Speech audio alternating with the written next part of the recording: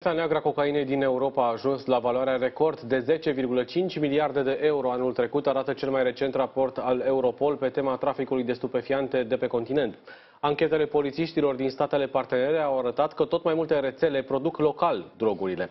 Despre acest subiect discutăm cu jurnalistul Digi24 Andreea Georgescu. Bună dimineața, Andreea! Bună dimineața! Din cel mai mare consumator devine un mare producător bătrânul continent. Cum se face asta? Sunt mai multe explicații pe care le-au găsit uh, forțele de ordine europene, care au întocmit uh, și întocmesc de altfel în fiecare an acest uh, raport cu privire la evoluțiile de pe piața neagră a traficului de droguri din Europa și aceasta ar fi una dintre concluzii.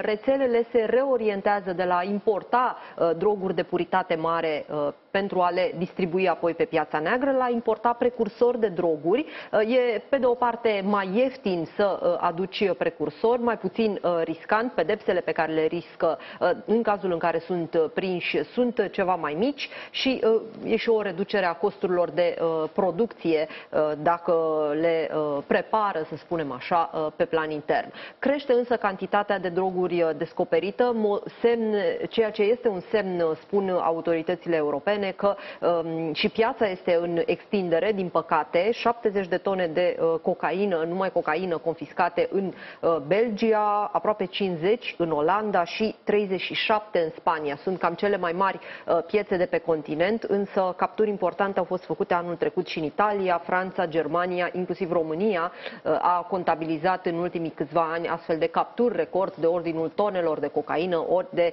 uh, heroină, din nou droguri extrem de periculoase care sunt traficate în cantități mari, însă cel puțin în cazul României noi, noi rămânem o țară de tranzit, nu neapărat o mare consumatoare Uh, de uh, astfel de stupefiante. Am văzut mai devreme și traseul uh, importurilor de droguri, dacă nu sunt produse aici. Cele mai multe, evident, provin din America de Sud. Da, America de Sud rămâne uh, cel mai mare uh, producător de uh, substanțe interzise și uh, un furnizor pentru uh, mare parte din uh, celelalte piețe, atât Statele Unite, Canada, practic America de Nord, cât și uh, Europa, care rămâne un consumator important uh, cele mai multe uh, cantități sunt depistate în porturi, în porturile de intrare în Europa prin uh, astfel de transporturi făcute uh, pe mare din Columbia, din Peru, din Bolivia. Cam acestea sunt cele mai importante țări unde, de unde provin cantitățile confiscate în,